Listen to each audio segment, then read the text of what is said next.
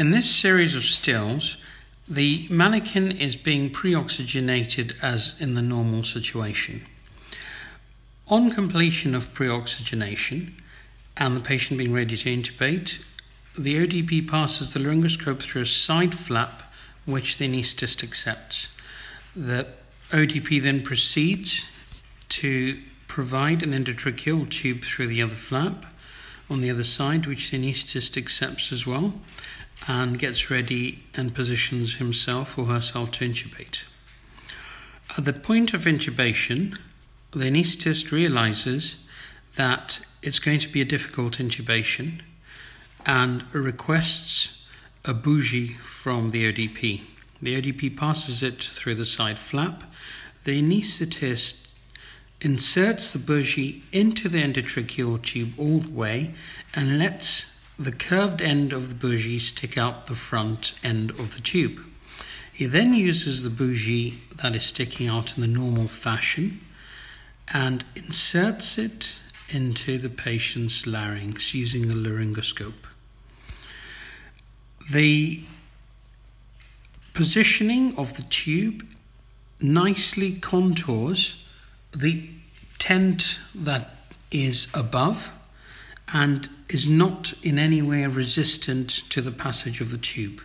It actually holds it in place quite nicely.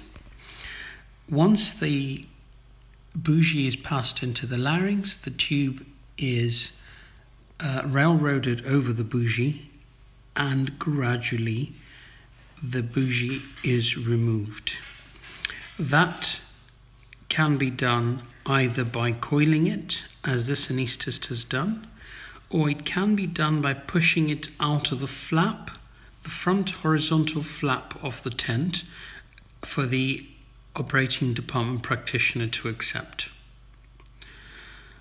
The stills show this being done from the bird's eye view and from the lateral side to ensure that a reasonable view is demonstrated of the use of a bougie under an aerosol shield tent.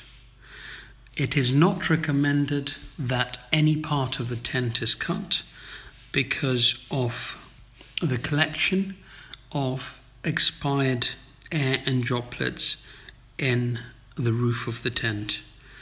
Um, the use of the side flaps, the front flaps, and the horizontal flap are adequate to position and insert a bougie in a tracheal tube.